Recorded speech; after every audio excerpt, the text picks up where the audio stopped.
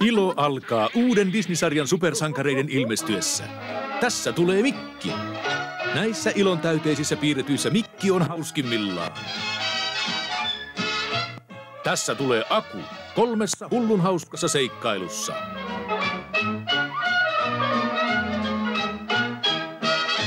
Tässä tulee Pluto, koirakoomikoiden kuningas.